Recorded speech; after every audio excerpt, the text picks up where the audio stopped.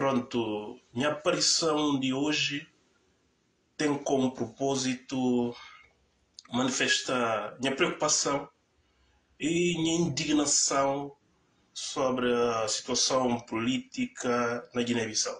Não está permitido também que nunca também alonga tanto na conversa, até porque está em cima do horário de trabalho. Não tem que sair rapidamente para o serviço. Mas é com muita preocupação, uh, que indignação até profunda, que está perfurando o espírito enquanto cidadão guineense, que não, não acompanha evoluir da situação política da Guiné-Bissau.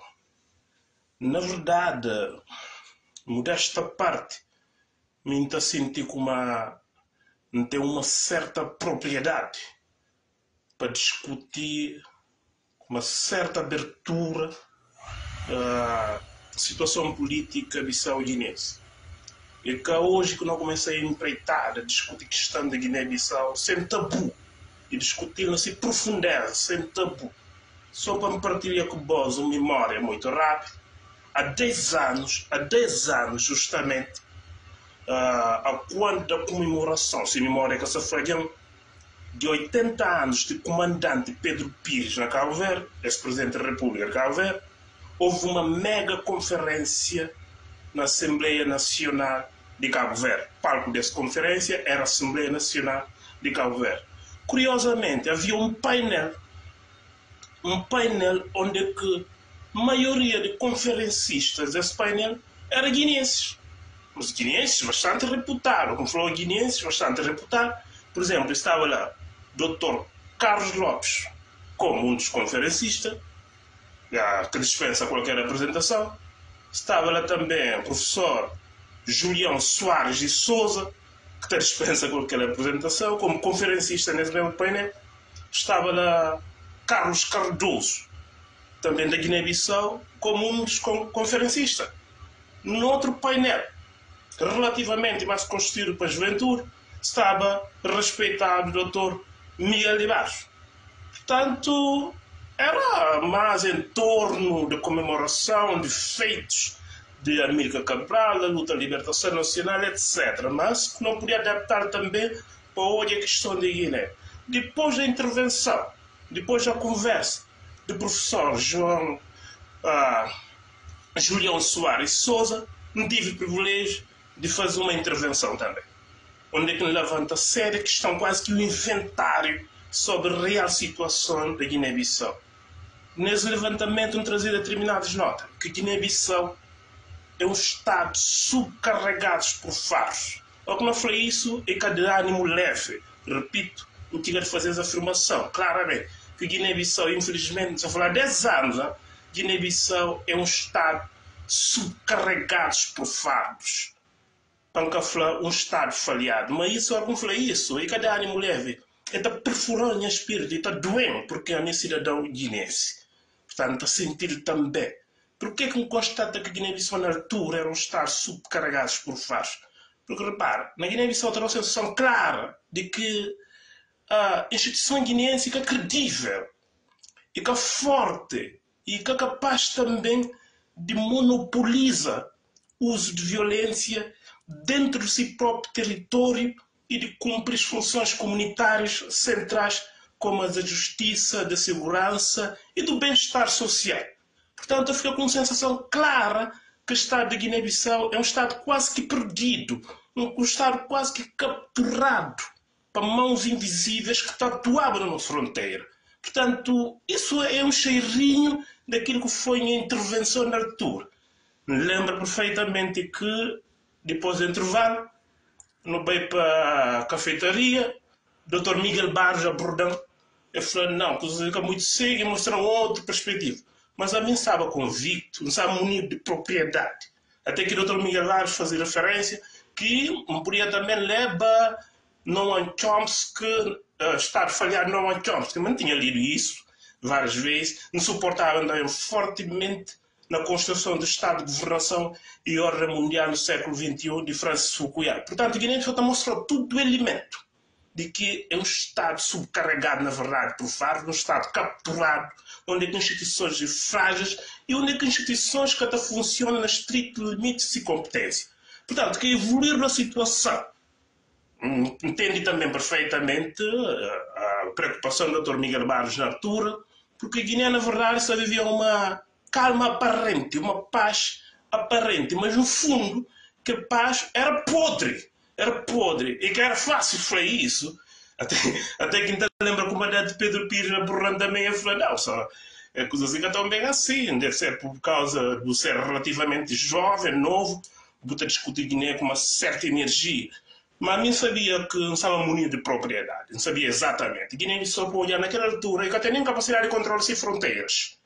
Portanto, se nunca tem capacidade nem de controlar fronteiras, também está perde capacidade de monopolizar o uso de violência dentro de determinado território. Se o perde capacidade de monopolizar o uso de violência dentro de determinado território, os Estados que funcionam na sua plenitude, instituições que têm credibilidade nenhuma, portanto, não se caminha fortemente para um processo de perda de estadualidade. Foi isso que está acontecendo. Então, é que está acontecendo exatamente na Guiné-Bissau. Não sei disso, é assinar não entrar na legislatura. Não vai uma eleição aparentemente transparente, onde tudo ocorre de uma forma, Zé Marvaz vai para cargo de Presidente da República, Domingos Simões Pereira assume função de Primeiro-Ministro. Quer dizer, menos de um ano na legislatura. Com tudo sinergia, tudo esforço, tudo empenho, o governo nunca tinha nem um ano e seis meses. Aquilo é que é razoável, aquilo é que é normal. Depois esse governo foi demitir, demitir o primeiro-ministro, houve sobressaltos, que acordo na Guiné-Conakry. Botou é claro, de facto, são sinais claros no Estado filial. Governantes de Guiné, também Guiné-Conakry, quase toda semana, todo mês, para assinar acordo, discussão. Essa aqui é aeroporto, é que está contou nada de verdade que é que passa. A opinião está divergente entre essa. Quer dizer, tu repara que Guiné-Bissau, a maior parte do governante guinense é desonesto. E a mim assiste tudo esse, jogada, essa confusão, com muita dor na altura. Com muita dor na alma. O governante de Guiné está bem se não acorda da cara na Guiné-Conakry, está detropar tudo de informação. Ninguém está a falar verdade. Ou está a falar, houve consenso em torno do nome proposto, ou está a falar, não, que houve não, consenso, que houve não proposto, etc. Se não fica sobressaltos. Então, quando chega na última eleição novamente, surge a figura do Umar Sissoko em Baló. Portanto, acho que esse último remate para ficar com ele. Olha, a mim, quando não é o Umar Sissoko em Baló, primeiro-ministro de Guiné-Bissau, não conhece nada nenhum, nem que precisa conhecer. Mas, uh, dá benefício de dúvida. Não se tudo intervenções, se tudo declarações. Não avaliar direito. Não tinha uma conclusão simples. E a conclusão simples. Isso quase que é uma visão profética. De que o Umar Sissoko em Baló é uma ameaça real para a Guiné-Bissau. Yeah. Repito, minha primeira constatação, minha primeira afirmação, só o Umar Sissoko em Baló como primeiro-ministro, depois como candidatos presidenciais, me fala claro que esse homem é uma ameaça real para a Guiné-Bissau. Ali, só quem me se olha verdade, se não gosta de falar, quem me faz papel avestruz, põe cabeça para que um me estou a realidade assim volta. Se boa declarações de Umar Sissoko em Baló, se fazer leituras dessa declaração do meu senhor, para além de está minimamente preparado para estar frente de uma nação, mas também é uma ameaça. Portanto, é preciso travar. Mas na Guiné é difícil travar. Travar pessoas tipo uma Sissoko em Baló. Por causa de instituições frágeis. Instituições que até funcionam. Nós estamos perante um, um, um sinal de ausência total de Estado. Depois nunca tem uma sociedade civil, digamos assim, descomprometida, uma sociedade civil assumida, nunca tem isso. Um problema mais longe, elite política guineense. Repito, elite política guineense, exceto uma curvaiata, é muito fraco. Yeah, é muito fraco. Repito, exceto uma curvaiata, tendo elite política guineense bem preparado. Dance 4 uma maior parte da elite política guinense é muito fraco, de todo ponto de vista, mesmo do ponto de vista de formação acadêmica, muito fraco demais, muito fraco para conduzir uma nação. Yeah. Excepto alguns que te reparo logo, é muito bem preparado. Basta o para a Assembleia Nacional, basta o para os sucessivos ministros, até presidentes da República, te repara claramente que é esse que tem condições mínimas que tem condições mínimas para dirigir uma nação. Uma outra coisa também, quando o constatar claramente que não está a falar claro. Eu não está a falar isso, não está a falar com uma certa simpatia, não, que dor na alma. Não está a falar claro. Guiné-Bissau tem referência intelectual e moral. Digamos, ora, como falei, que tem referências intelectuais e moral, e que tem uma espécie de baluarte, que reserva moral, né, de tipo de antigos primeiro-ministro, de antigos presidentes da República, outra hora de graça. Coisa que começa a pensar que eu, quando o Zé Mário Vaz termina mandato, numa das conferências, e fala assim: Oh, eu ficava feliz porque ele é o primeiro presidente de Guiné-Bissau que se termina mandato e nem vira. Me falou, bom, pronto, triste consolação, né? Depois leva o país na tudo tumulto, leva o país na tudo problema, na tudo sobressalto Buda sei que esse argumento que é o primeiro presidente da República que termina mandato em vida. Mas na que estado que deixa o país? Na que situação que deixa o país? Portanto, não arrasta até é determinado momento que sobressaltos, mas que se surpreendem também a postura da nossa guinense. E não tem uma postura de outra parte do mundo. Sábado passado, sábado passado, no final do dia antigo, por vez de participar numa Outra conferência nos Estados Unidos da América, organizada pela Juventude do Partido Africano Independente de Cabo Verde, na Associação de Cabo Verdeano de Brato, é que fazer a intervenção, mas na hora de café também confrontaram com outra situação, nova situação de Guiné. Pronto, confrontado com ele. De facto, é verdade, mesmo. É verdade que, que eles ilustram. Por que que Guiné-Bissau, com todo o recurso disponível que tem, que todo número adequado, relativamente competente que não tem, pessoas idôneas, nunca pude alavancar nosso país, nunca pude desencravar. Mas o problema é isso, é corrupção é generalizada. Corrupção é generalizada e depois, a nós como guinenses, isso está no nosso DNA, não está foca mais para questão desnecessária. Oh, oh, deixa-me falar isso. Quer dizer, a nós é menos objetivo em matéria de governação. Não, nós é menos objetivo. Não terá que o rodeio, não terá que o voto. Em vez de eu tomar uma decisão peremptória, yeah, é, é imediata, objetiva, mas não terá que o voto para tomar. Yeah, não é essa questão ali, essa questão por aqui no mundo. Não resolver a questão, é de suma importância. Não, não está a discutir questões banais. Deixa um exemplo claro. Houve denúncia por parte do presidente da Assembleia Nacional de Cabo Verde na pessoa de Engenheiro Domingos Simões Pereira, de que governo anterior de Guiné-Bissau, ou Estado, aquilo é tão obscuro, babu, eu quero saber quem é, fazer aquisição de armamentos. Para, gente. Aquisição de armamentos no valor de 13 mil milhões de francos CFA. Mas até ali, ainda é muito preocupante, o valor é preocupante. Preocupação é que Guiné-Bissau precisa de arma para quê? Para que que Guiné-Bissau precisa de arma? É arma é para quem é? Essa arma não onde é que está? Como é que disponibilidade, que processo dessa arma, como é que passa? Por que, que não se levanta essa questão? Porque se olha para a história recente de Guiné-Bissau, para o passado recente de Guiné-Bissau, é um passado que escrita que letras de violência. Então, se um passado que escrita que letras de violência tem que acautelar o teu. Esse país que pode comprar arma a qualquer momento. E esse país que são condições de comprar arma. Até porque paz que não se vive na Guiné-Bissau é uma paz podre, precária. País por incêndio a qualquer hora. Essa arma pode correr enorme risco na nas mãos de pessoas não desejadas ou de guerreiros não autorizados. Portanto, é preciso, é preciso a cautela que eu, é preciso a cautela o órgão de dirigir uma nação.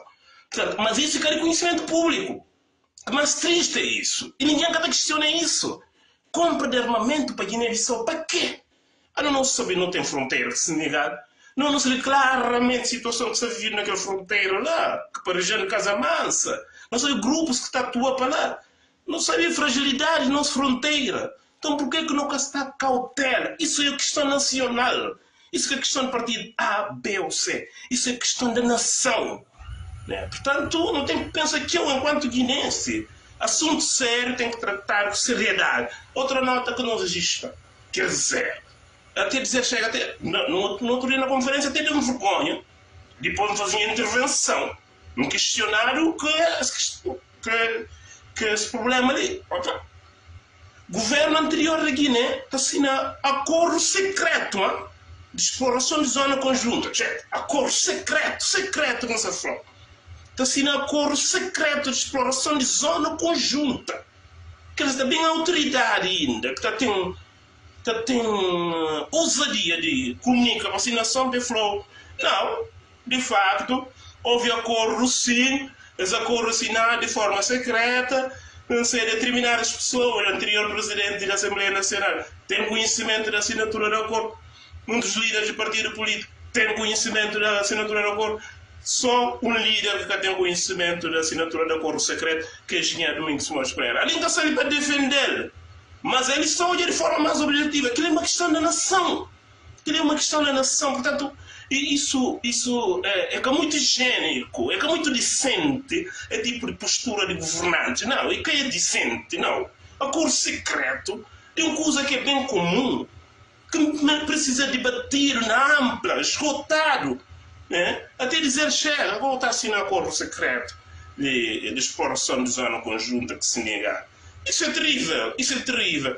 Outro registro, assim, um habitual apelo para queda de governo, consequente, deixa-me falar na hora, dissolução da Assembleia Nacional, consequentemente queda de governo. Às vezes pensamos a determinados guineenses que certa responsabilidade perdem noção. Yeah, perdem noção das coisas. A eleição não é barata. A eleição é cara, minha gente. A eleição é cara. Nunca por isso a eleição é cara. Nunca por dar o luxo de tudo agora demitir primeiro-ministro convocar eleições antecipadas. Aquilo é complicadíssimo demais, é complicadíssimo. Outro nota, porque tem que ficar na verdade, tem que sair daqui a cinco minutos, tem que ser rápido para trabalhar. Outro nota, vamos ficar com a dissolução da Assembleia Nacional. Houve que vozes levantando na Guiné, que o debate em torno disso, da constitucionalidade do ato ou não. Quer dizer, eh, oh, uh, uh, a minha opinião, jovem, se uma João Bernardo vier confrontar, claro, e tem posição que tem que, é claro, isso, é, democracia sim, democracia é confronta de ideias, não é nada contra. Mas que confrontar com uma situação também desnatural, se, qual é a sua opinião sobre constitucionalidade ou não da dissolução da Assembleia Nacional, é da falar, não, para remeter essa questão a Supremo Tribunal de Justiça na vez do Tribunal Constitucional, porque ele, eh, quer dizer, ele é a autoridade para opinar sobre a matéria. Come on, brother. Quer dizer, assim que dá. Assim, assim nunca se ajuda país a nada. Assim nunca se ajuda país a nada. Eu não sei, é um ato inconstitucional, sim. É premeditado, sim. Então, eh, não tem que falar claro. Não se participa em jogo democrático, não tem que falar claro. Não tem que fazer limpo também. É, é preocupante. Mais uma vez, deixa-me falar, eleição é cara. A mim participa no processo eleitoral de Guiné, na legislatura, na, nas duas ilhas, se memória que essa Boa Vista e Sal, para segurar esse processo eleitoral. Não pode perceber o, o, o quão é difícil, o quão é difícil, o quão é custoso realizar eleições. Não tem uma certa experiência também nessa matéria. Não pode discutir com certa vontade também, participar nas eleições de Cabo Verde como membro formador, duas vezes ou mais. Portanto, não tem uma certa experiência, não podia olhar o quão é cara organizar eleição. Então, nem são, nem capacidade de produzir. Uma urna nunca tem. Não só fica também a eleição, tudo. Quase 90, 90 dias tem eleições. Aquilo é estranho demais, aquilo é estranho. Não pode continuar nessa bagunça, nessa instabilidade política constante que é um, quase que um convite, um convite ao levantamento civil. E que nem acabou de ficar nesse, nesse assunto. Esse assunto já está tudo ultrapassado. Nesse momento, não devia se pensar outra coisa. Como é que não tem que fazer para não levar desenvolvimento? Ah? A Guiné-Bissau real, a hora gosta de falar Guiné-Bissau real, a interior do país. Como é que não pode fazer para não desencravar o país? Essa que discussão, esse que debate como é que não fazer para não melhorar condições de vida da nossa população? No último debate que teve na Associação Cabo Real sobre comemoração centenária do canal, colega Borrandi põe a intervenção e falando assim, já, a mim tem entendido uma coisa, educação, saúde, segurança ou bem-estar social, aquilo que outro alguém tem chamado welfare state, que está ultrapassando a miragem de qualquer partido político. Que não deve estar na disputa entre partidos políticos. Que é uma questão da nação. Yeah. E acho que alguns governantes de Guiné ainda incorporam isso, que entendem isso. Yeah, tem determinadas questões que é uma questão nacional, tipo a questão da segurança, a questão de investimento forte na pessoa, na educação, na qualidade da educação. Né? Que na linguagem internacional não tem que uma uh, condições de vida ou melhores condições de vida. Portanto, não precisa investir fortemente nisso. Mas é preciso calma, é preciso paz, é preciso tranquilidade, é preciso friar a Guiné por não discutir grandes questões. E por não ser também sincero, por não falar a verdade com o companheiro, não está a resolver o problema. Não está a falar a verdade com o companheiro, não está a resolver o problema. Bom, a mim tem que partir, se arriba de hora, não está espera, em condições. Um abraço grande. Fiquem bem. Ótimo dia.